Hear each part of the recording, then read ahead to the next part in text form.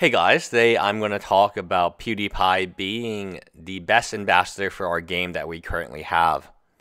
He has not cheated at Magic the Gathering. He has not cheated multiple times. He's not been banned from Magic the Gathering for cheating multiple times. He has not um, done very bad things to teenage females. He has not been accused of assault on a female or being emotionally abusive.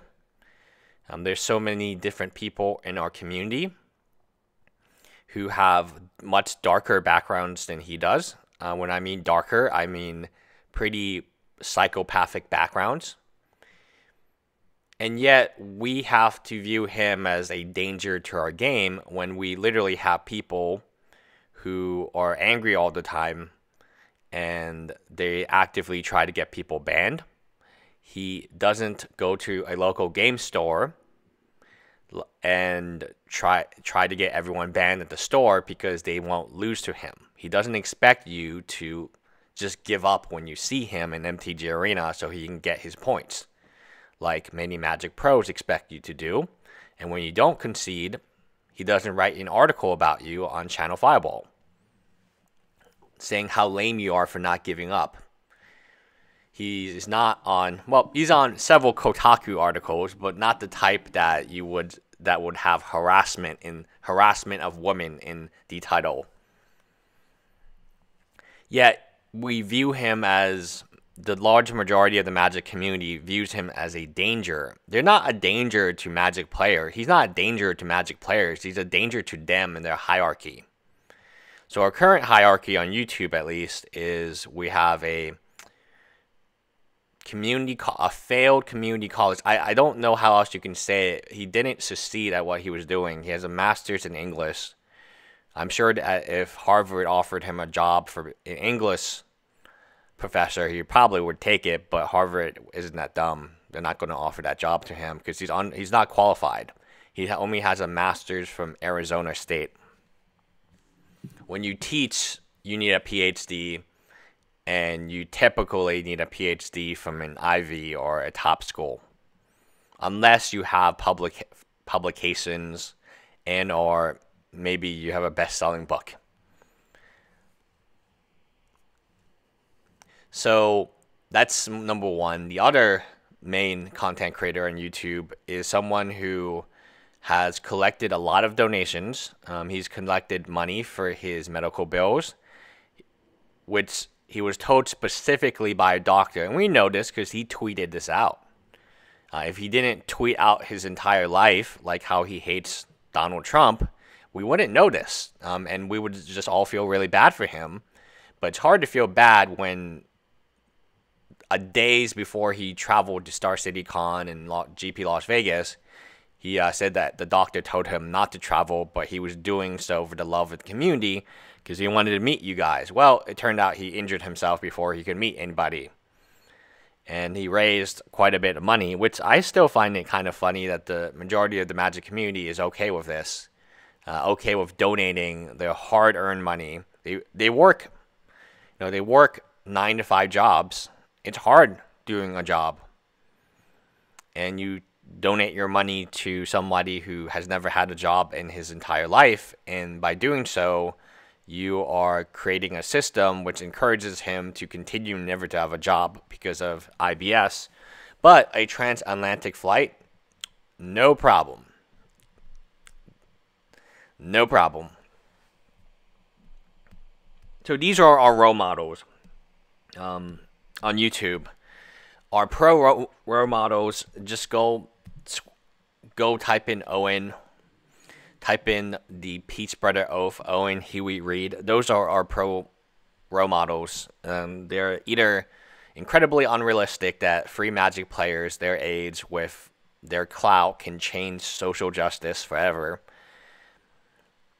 And when one of them gets accused of something, of uh, harassment of women, the other two don't defend them. That would be I mean, the Peach Brother Oath was the Three Kingdoms, right? It's a Chinese fairy tale. It is a fairy tale based loosely on real people, the romance of the Three Kingdoms. I feel embarrassed as a Chinese person born in China. I was born in Shanghai. I feel embarrassed they're referencing the that. And I mean, imagine if the Peach Butter Oath was just that free people talking about social justice, and then suddenly one of them gets accused, and then nothing, and then the other two are like, oh, damn, we're out. Man, China would be a different country, but it would it would change history if your Peach Butter Oath was as fickle. It's kind of like, oh, during good times we're gonna be friends, but as soon as one a person gets called out, we're like persona non grata. So PewDiePie has not done any of these things. He's not as creepy as my fellow friend Frank, who hits on every teenage female that he sees, even though he was dating and in a very ser- serious relationship with uh, the now Wizards of the Coast employee Melissa you know, the stories go on. Some stories involve babies and cheating with employees, and you know, uh, not even employees, people who you're the boss of, subservient people who you can tell them, "Hey, I want to blank blank blank you," and they will probably you know say, "Oh well, maybe I don't want to lose my job, and this is awkward." Okay, I guess so. Uh, we have uh, judges um, with you know their relationship with their high school freshman students, uh, and all this really bad stuff. Yet, PewDiePie is the big danger to our community. He's such a danger to our reputation. It's not the Kotaku article that comes out. This is the same kind of thing that they said about um, unsleeved media to a far lesser extent, and which is now he's now called the Quartering, right? They compare. They think he's a danger, and why is he so dangerous? Like I don't get it he's not committed any harassment of women. Um, he has not um, physically gone to somebody, a teenager, and asked them to come to his hotel room. He, in fact, when he travels and when he goes out, he's a very private person and he doesn't want to interact because he knows that any interaction can be blown up to something that is on Washington Square Journal. He's the perfect candidate. Uh, he is the perfect candidate. He has more subscribers than everyone combined. Every Magic content creator on YouTube and or a pro combined. He has more Twitter followers than everyone combined, and yet they won't acknowledge him. They won't say, "Oh, PewDiePie, good job, PewDiePie."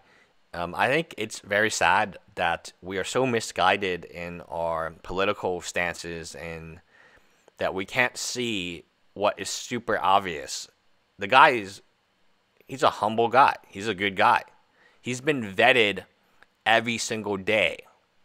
Everyone's waiting for him to mess up or do something bad so they can make a video about it or a newspaper article or a magazine. Yet they rarely catch him doing anything too bad. Now, yes, in the past, he's done things that were not great, but he's apologized for them. And that's more than you can expect from a Magic player, right? Alex Pacini wrote a apology on his Facebook, which is now deleted, by the way. But we have our Reddit thing, and basically he doesn't take responsibility for it. He blames us, the audience, for encouraging him to play to the best of his ability, which is cheating. But like, I don't. I think that's not really an apology. That's more like I did it because so you could love me. It would be like if your girlfriend or boyfriend, if you are 0.001% of the female population watching this video decided to you know kill someone for you and you're just like what did you do? Like you need to do this. It's a little uh, extreme right? And even when we talk about i had a friend he is a fan of andrew Gagnon, but andrew Gagnon, when i grew up and i read his uh, post Andrew Gagnon is the number one Hearthstone player. He owns uh, a team that's worth um, 10 million plus dollars in esports team. But when he was a Magic player, he was caught for cheating, got banned for cheating, and then went on a rampage to burn our bridges. And good for him, you know, just like Darium's and when he moved to Pokemon, good for them. And unsleeved when he moved to uh, whatever he does now, good for him. I think the problem the problem really stems from the danger of PewDiePie is right is he's a danger to the current hierarchy of content creators in Magic because he is not all about that social justice. He's not all. I mean, man, like some of the stuff MTG for Owen. We've only been how many mythic invitations do we have? We have two. So for every single mythic invitation, we have a serious issue. There's only 64 of them, right? How can this happen time and time again? It doesn't make any sense. Like, did not we not vet these people? Like. Now, a lot of you will say I'm very harsh on Owen. I think I am pretty harsh on him, but that's because he's in the spotlight. He's one of 32 people being paid 75%, uh, $75,000 to stream Magic. All of his streams on Twitch are hashtag sponsored because he's getting paid. It's his full time job. I will say this again, and oh, subscribe to my other channel. But let me conclude by saying PewDiePie has a lot of better things to do than play MTG Arena. He plays MTG Arena because he loves it. What can the man if if we took Magic the Gathering out of the Mana Source's life, how would he get donations? How would he pay for health insurance? How would he pay for the collectible original art that he invested so heavily on right after his surgery? The answer is he would be nothing without the Magic community. Nothing and that makes him dangerous.